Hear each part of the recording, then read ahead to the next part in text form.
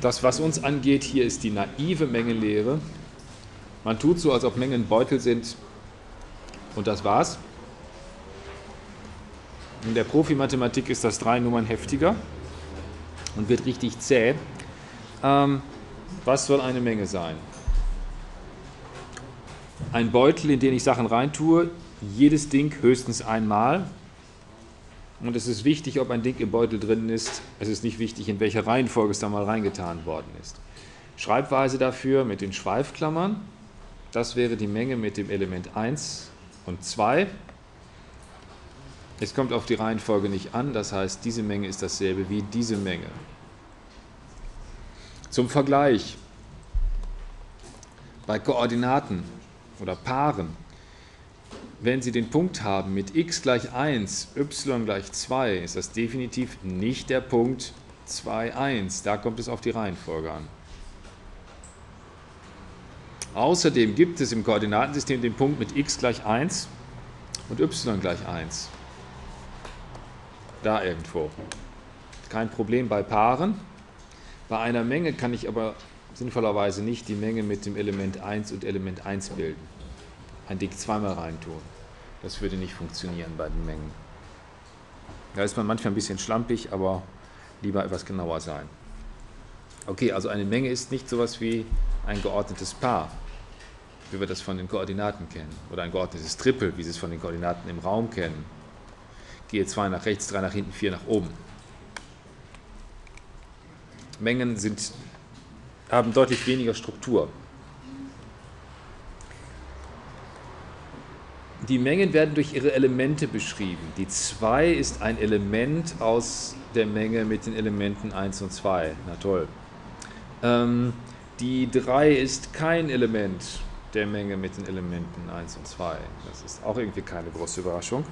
Man darf es übrigens auch falsch rumschreiben. Ich darf schreiben, 1, 2 hat als Element die Zahl 1. Sie dürfen das auch so umdrehen, hat als Element die Zahl 1.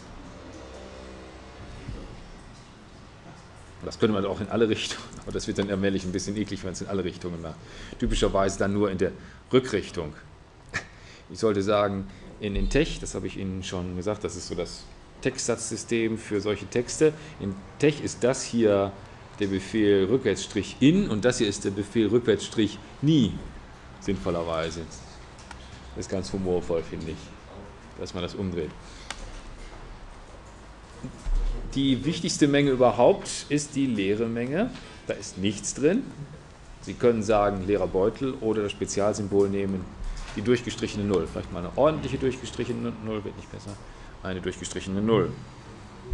Dann können wir abzählen, naja, und manchmal auch nicht abzählen, wie viele Elemente in einer Menge drin sind. Bei der Menge mit der Zahl 13, 42, Semikolons und 98 ist das relativ einfach abzuzählen. Die Anzahl der Elemente, äh, dieses, dieses äh, Hash, Pound, Sharp, das Ding hat 1000 Namen, ähm, heißt international ja sowas wie Nummer. Bei Zeitschriften die Nummer 5, finden Sie irgendwo auf der Titelseite die Nummer sozusagen, die Mächtigkeit dieser Menge, die Anzahl der Elemente wäre 3. Die deutsche Schreibweise ist gerne in Betragstrichen,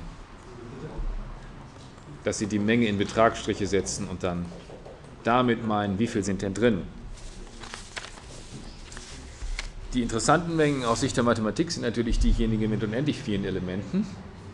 Geht auch mal sagen wollen, okay, die Anzahl der Elemente der Menge der natürlichen Zahlen ab 1 aufwärts, 1, 2, 3, 4 und so weiter, bis ins Unendliche, das sind natürlich unendlich viele.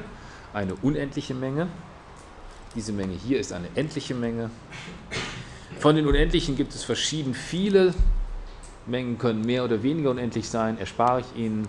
Ähm, ist philosophisch hochgradig interessant und mathematisch auch hochgradig interessant, dass es unendlich viele Sorten von unendlich gibt ähm, aber bisher in der Praxis nicht gerade so relevant.